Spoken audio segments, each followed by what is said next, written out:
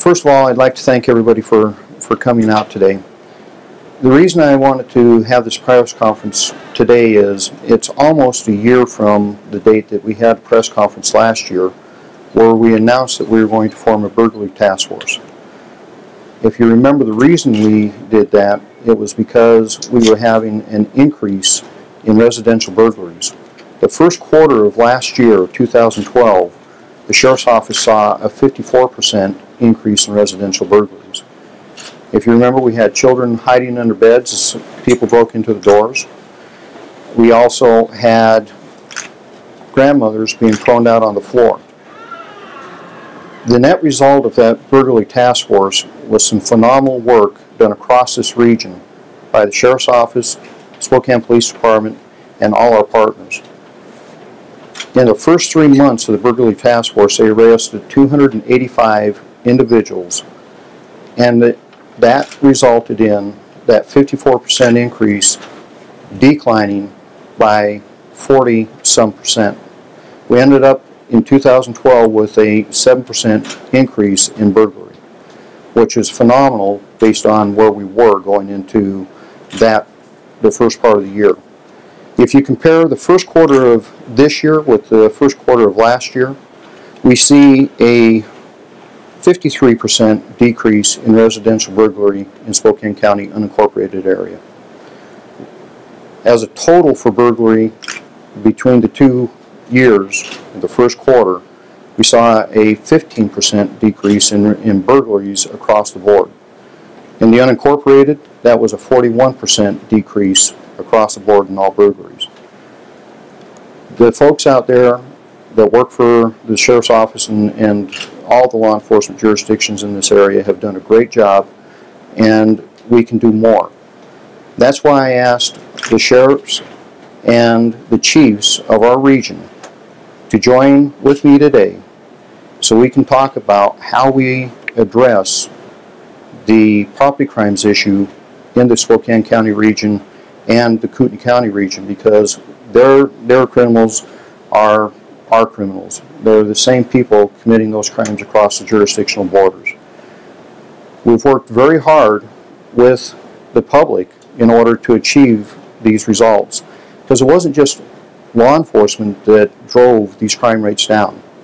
We had a two-pronged approach. We formed a burglary task force, then we reached out to the citizens of Spokane County, and they started reporting their crime in a greater volume and in such a fashion that we were able to actually disrupt bur burglaries and arrest people breaking into people's houses as those crimes were being committed. So a lot of the, the thanks that I give today is to the citizens of Spokane County for taking the time to report the crime and for us to be able to address those issues. I'm going to turn it over to uh, the chiefs and let them discuss some of the issues that they're dealing with. And at the end, uh, we'll be able to take a couple of questions and we'll move on from there. Chief? Well, thank you. Um, I was pleased that uh, I received a phone call from the sheriff to ask to be a part of this. Um, while our property crimes in the city of Cheney remain uh, relatively low, uh, the problem that we do deal with is auto theft. And so a car will be taken in Cheney and then dropped off in Spokane and vice versa. When a burglary is in fact committed in Cheney, a lot of the times the burglars will leave a car, dump a car, take another car with the property, come into town here and either sell the property or pawn it. So being a part of a task force, we can organize, organize our efforts along with the various jurisdictions and so that we're not all doing the same thing but in different places. And should we have a string of um, uh, serial burglaries as an example, we'll be able to call upon this task force to come into the city of Cheney and provide us the assistance that we need in order to make sure that we get a successful conclusion to the investigation. Thank you. Good morning, I'm Brian Asmus from Liberty Lake Police Department. And again, I'd like to thank the sheriff for inviting our department to be part of this task force because the criminal element that we're dealing with doesn't recognize the jurisdictional boundaries um, that our cities do. And so by us working together, I think we're going to have a greater impact on property crimes in our region. Uh, Liberty Lake, um, we don't have a lot of crimes against persons, types of crimes, but a lot of property crime occurring in our jurisdiction. Uh, burglaries, vehicle prowls, open garage burglaries and those types of things.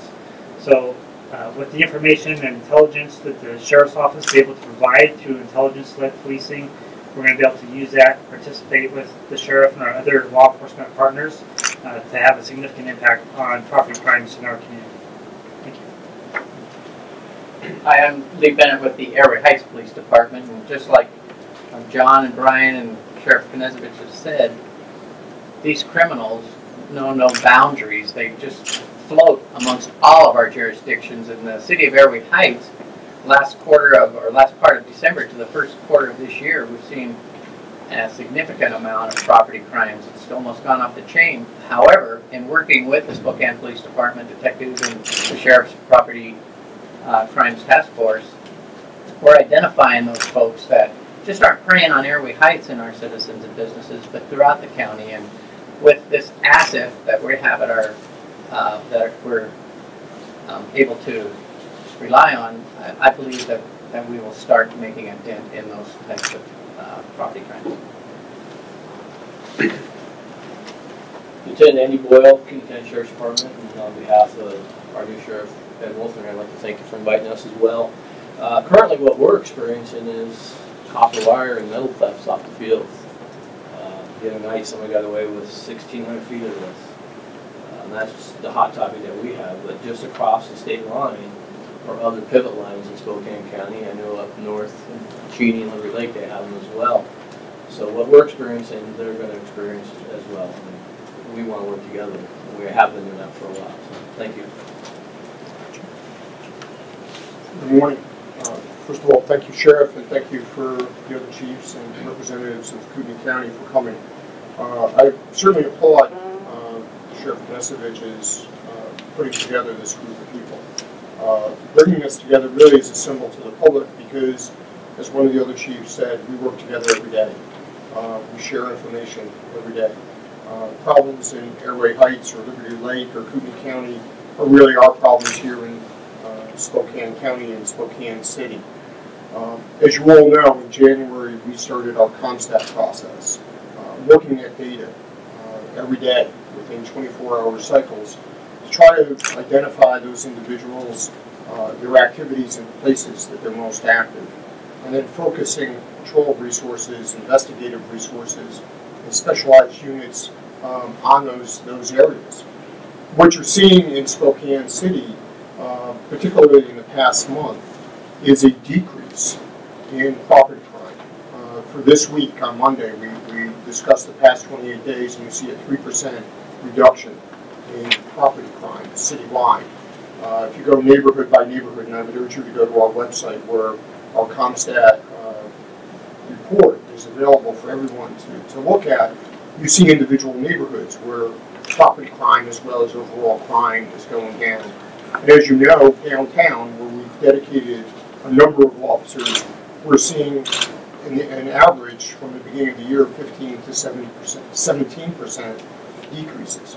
So clearly, the sheriff's idea of using data, bringing law enforcement together, uh, and being very strategic about how we focus our, our patrol forces, our investigative forces, um, is incredibly successful and useful. Last night, we had a great result. Uh, we had a woman uh, who, an elderly woman who somebody broke into her house. Uh, she was able to hold uh, that individual at bay. She fired a warning shot.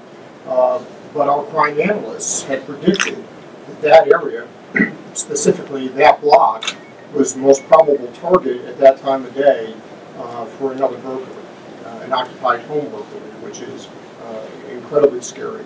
So we had patrol resources, we had our canine officers in that area, uh, and as a result, uh, when 911 got called, we were able to respond very quickly and make the apprehension. So what the sheriff's talking about, what my counterparts are talking about, it works, and I think we're going to see region-wide a decrease uh, in property crime because of a concerted law enforcement effort. Thank you. You know, one thing I, I would like to point out is we can identify these folks and we can arrest them.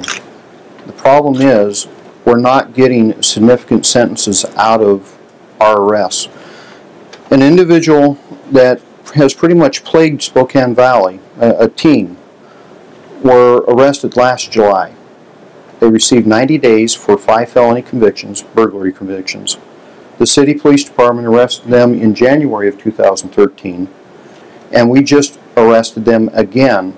And we're looking at eight, I believe, total counts of burglary on this on this team. Uh, It's a a, uh, a woman and, and a male team. Just how many times do we have to arrest somebody before we actually get rid of our repeat offenders? Chief Straub and I have talked very much about identifying a way of dealing with the repeat offender because we get a huge amount of reduction in crime by taking out those that are committing the most of our crime. Since those individuals have been arrested and another group uh, committing uh, commercial burglaries, we've seen a 56% decrease this month in the valley because of, uh, of those arrests. And we only arrested seven people. That tells you the effect that these repeat offenders are having on this community. What we need to do, and, and Chief Straub and I really need to get together and go and speak with our judges and get them on board with a, project that you know, it's been called ceasefire high point model but it's a model where we identify these individuals we give them a chance to get out of out of the crime element or we send them away for a very long time period of time. That is what we need to focus on because we can continue to arrest people and be very successful but as long as we're getting right back out, we're not going to be very, very successful. Um, I have Lieutenant John Knowles in the room with me today. John's task is going to be contacting all these jurisdictions that you see with us, and we're going to put together the framework and the analytical piece of of this so we can all be effective in reducing this property crime issue. Intelligence-led policing works. I have no doubt about it. We started it in 2007, and the Spokane Police Department actually has a very long history in that. Chief Roger Bragdon actually was one of the forerunners of this model.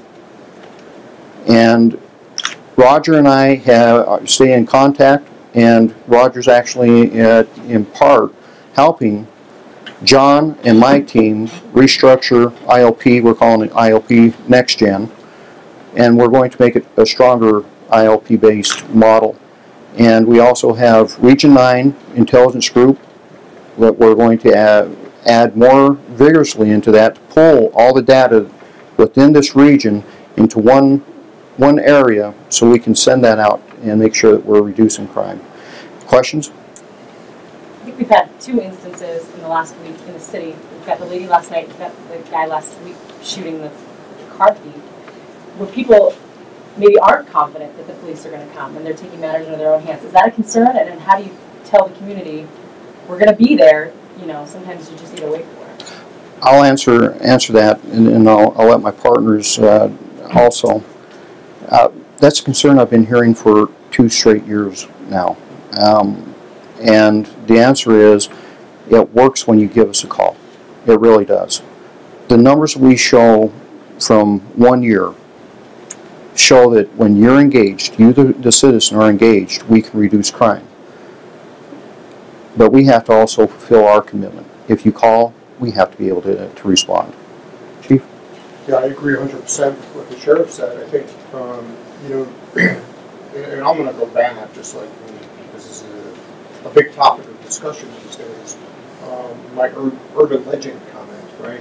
Um, the purpose of that comment was to say that the Spokane Police Department has been in the game of investigating property crime for many, many years, right?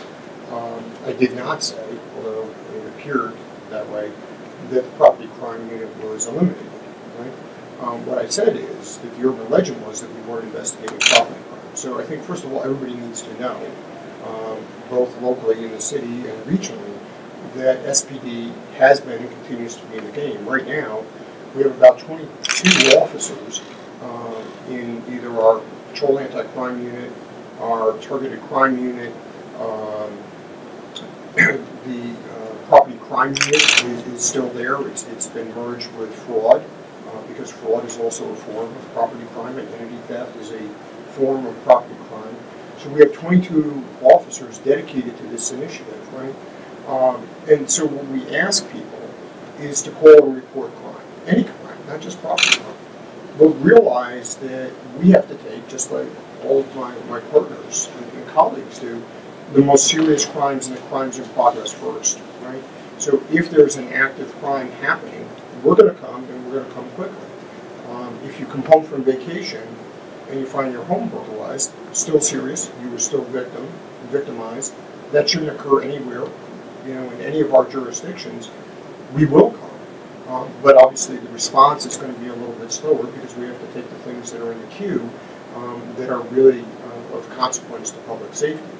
Now, if you look at the two instances, um, without going into a lot of detail, because one of them is certainly under investigation, kind of different responses, right? Um, different circumstances. One, you have the person inside um, this woman's house. Um, she takes action. Uh, she uh, fires a warning shot, holds him in the house at bay, gets in touch with 911. The police respond in a very quick response, right? Um, so, you know, having a firearm in your house for personal protection, I guess we got to see the value of that last night. Um, the other circumstance, as I said, I don't really want to comment on um, because it's still an ongoing investigation. And I think there's some pieces that have to come together before the Ohio the prosecutor comments on it further. One thing I'd, I'd point out is the case I told you about, the, the man-woman team. The reason that uh, case was broke was because somebody took the time to come to the Valley Precinct and tell us about what was going on. It's that type of citizen engagement that is, has been very successful for us. Over the year, actually it's been over the last three years, we've, we've expanded our email trees. I'm, I have emails coming from multiple housing uh, groups, associations within Spokane County. They tell us what's going on. We forward that to John's team, and they start working those. And very in very short order, we're arresting those folks. It's really the battle in, in reference to these crimes is won at the neighborhood level, and that's by involving that neighborhood to help us with, with those crimes. Um, so we all I don't think there's very many agents, uh, parts of, of Spokane County law enforcement that have a lot of manpower. Uh, I believe the chief's down almost 40. I'm down 32 deputies. And that's made it a, a real struggle for us. In my opinion, public safety is our number one concern. And that's where it should be. I have a question. You said, Chief Straub, uh, you said that, um, I'm Mike Craig from the spokesman, we've met before. You said you have 22 officers assigned to you. Does that include your neighborhood resource officers? And if you combine the three major agencies, how many personnel are assigned to this effort? So, first of all, right, you have to look at property crime and crime generally as really a corporate mission, right? Our, our job as law enforcement is to reduce crime and to keep our community safe. So, the advantage of creating a task force or specialized unit is to focus a group of individuals on a specific problem, right? But the sustainable crime reductions come from having the whole agency involved. So when I say we have 22 people looking at property crime, fraud, identity theft, um, and other quality of life violations, that's their sole mission, but they're also looking at crime overall. Our patrol forces, all of our patrol forces that are out there every day are doing two things, right? Preventative patrol and responding to 911 calls, and, and the preventative patrol is directed patrol based on intelligence, right? Patterns and trend analysis. So it, it really is a corporate, organizational, departmental level. I think what you see today is all of us coming together saying we all share the same problem, and so we're, we're going to use our collective resources, our collective intelligence sharing to attack a problem that's affecting all of our citizens, right? Um, and so that's what you see. So it's really the whole department. So neighborhood conditions unit, yeah, they're involved. One of the things that we've done uh, here, and we, we are doing um, pretty regularly now, is looking at where's that property going back to, right? Do we have houses in neighborhoods that are problematic and are chronic um, sources of calls for police services. Are these the places where stolen property is going back to? So I think was last week, um, we covered a, a, a whole bunch of jewelry uh, in a location, right? Because we followed the path of where that burglary ended up in, if you will. Uh, and now we look at those problem houses and say, do we need to get rid of the people that occupy them? So we work with the owners. Um, if it's the owner that's causing the problem, do we make efforts to, in essence, seize that property? Right? Because especially if we can show that the property is part of the criminal process, if it was purchased through ill-gotten gains. So we're taking a very holistic approach to this versus saying, we're just gonna chase bad guys around, right? And, and what you're seeing last night, kind of being there, you saw on 29th Street, probably a month and a half ago, a commercial burglary pattern, where we watched the pattern develop, put surveillance teams in the areas, and this is the type of thing we can do with a task force like this. We see the pattern growing, we put officers there, we predict it's gonna be location A or location B. And it turned out that it was location A based on our analysis, and we were able to make the arrest. Can I follow up on that? What about the downtown area that was mentioned in this morning's uh, news release? And I noticed there was some activity, pretty intense activity last week and evening around the station. Yeah, I think what you're gonna see on a very regular basis uh, downtown is a multifaceted approach to that, that area, right? Uh, And when I say multifaceted, it's not just the police, and I think this is something that the sheriff talked about quite eloquently. The solution to crime problems and quality of life problems is not just a police issue. We need the courts involved. Uh, What you saw downtown last week was you saw um, our animal control people involved. You saw juvenile and adult probation involved. You saw the police involved. What you will see going forward is also representatives from Frontier Behavioral Health involved. Because one of the things, again, that the sheriff talked about was this ceasefire concept. And the idea there is to give offenders a chance. You want to stay in the game and be criminals? That's fine. It's a series of business transactions. You do the crime, we'll arrest you. We'll do this until you get sick of it. We're not going to go away. We're going to keep coming after you. On the other hand, if you want to get out of the game and get connected to services, we'll make sure that that happens for you. And so downtown, what you're going to see is that integration of the faith-based community going forward, the integration of uh, our mental health uh, colleagues to help connect some of these folks that are hanging out downtown uh, to services so that it doesn't just become we arrest you, we summons you, um, and it just kind of contributes to this whole uh, washing in and out of, of the criminal justice system, which clearly um, is not having an effect. We need to, to deal with it on multiple issues. And Mike, uh, for the sheriff's office, you asked the, uh, how many? Yes. It's the entire agency. We would not have been successful this year if it wouldn't been for the entire agency being involved.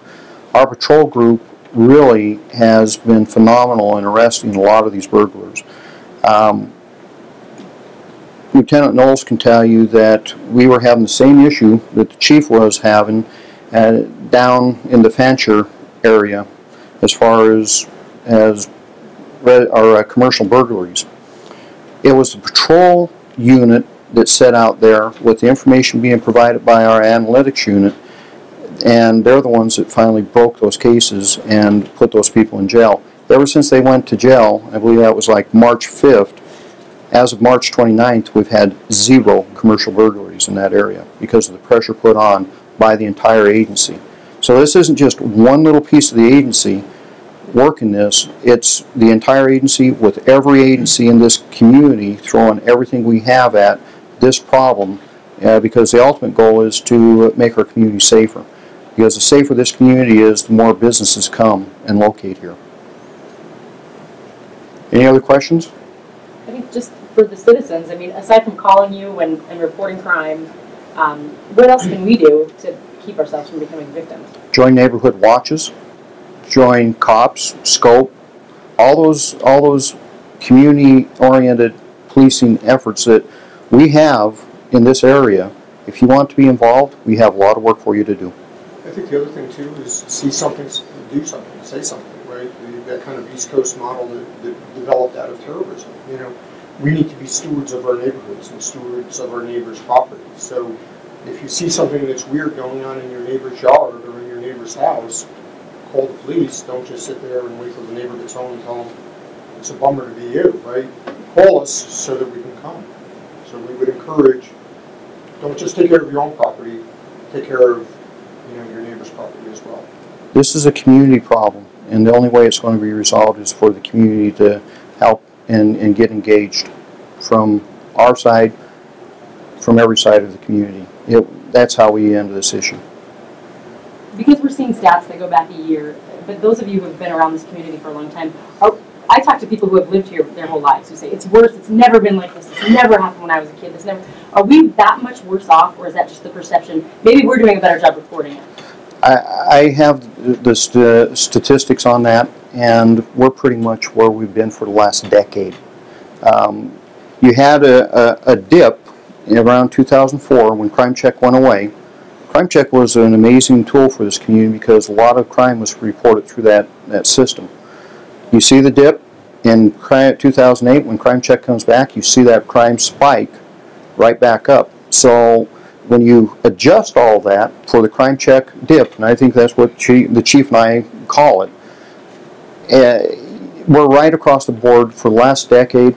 It's pretty flat, um, and I think you could probably go back further than that and probably see the same trend. Sheriff, the uh, rates per thousand though, is particularly in the city of Spokane, way over any other location, and many other locations in the country as well, it's way above the statewide average. How do you explain that? It's gotta be more than just a crime check dip. I'm going to let the chief deal with that one That's a because city that's a city question. You know, a- a- again, I think the sheriff and I and, and our colleagues would say the same thing, right? This can't just be a police issue. And, and, and so what you have is societal issues, right? We have, um, a large part of our population, um, that is below the poverty line, right? So we have very poor people that live in the city and the county and, and in our jurisdictions, right? Um, so clearly poverty is a driver. Um, I was down, you brought up the, um, the bus terminal the other day. We were down there, we're, we're talking to some of the folks on, on the street, and this young woman walks up to us, and she's talking about, uh, the smoking enforcement that, that's going on. And she said, you know, we started talking to her, and we said, how old are you? And she said, I'm eighteen. And we said, oh, okay. And she said, I have a, a child, and I'm pregnant. And she lights up a cigarette to talk to us. And we're like, well, what do you, you know, why are you hanging out here? Do you have a job? Are you in school? No, I can't, I'm not in school. I want to go back to school. I'm waiting for my boyfriend to come back.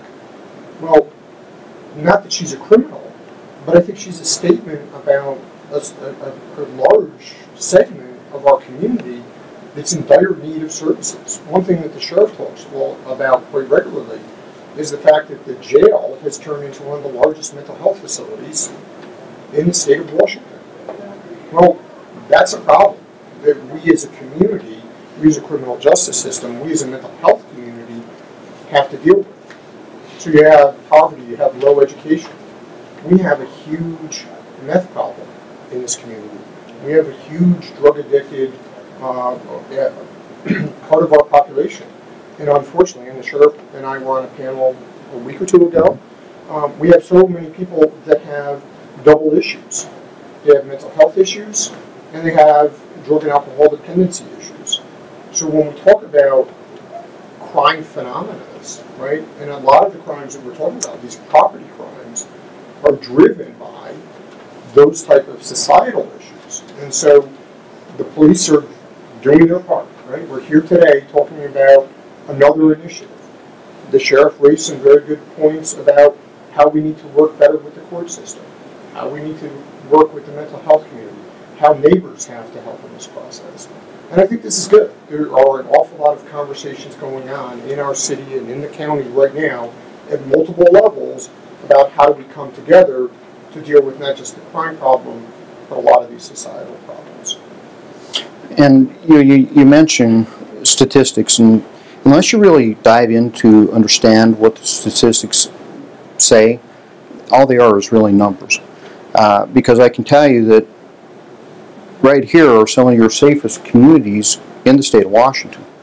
You know, uh, Heights, Liberty Lake, and Cheney. Um, they, they, when you compare them, they're doing very well. The unincorporated area of Spokane County, we're the second safest in the state. The unincorporated areas. As far as violent crime, we're number four worst uh, uh, in property crimes. So you have to take a look at the to- totality because when you look at the bottom line and you see that index number, that is, a, is an aggregate of every jurisdiction in, in the community. But if you pull it out, we have very much success in, in a lot of areas of our, our community. We just need to make sure that we're working all together to make sure that every area in our community is, is, is safe and has the opportunity to be, be that safe. So, you know, I challenge you, instead of just looking at the numbers, when they come out next, sit down with the chief and I, and we'll break it out for you. Sit down with all of us, we'll break those out for you, and you can understand exactly what those numbers mean to the community at large. Take a look at our website, the CompStat reports on a regular basis, you'll see, yeah, you'll see fluctuations. Some weeks they're up, some weeks they're down. Any other questions? Well, thank you very much for, for coming by, and uh, I thank my partners for being part of the effort. I really think together we can make a safer community. Good job, Good job. Thank you.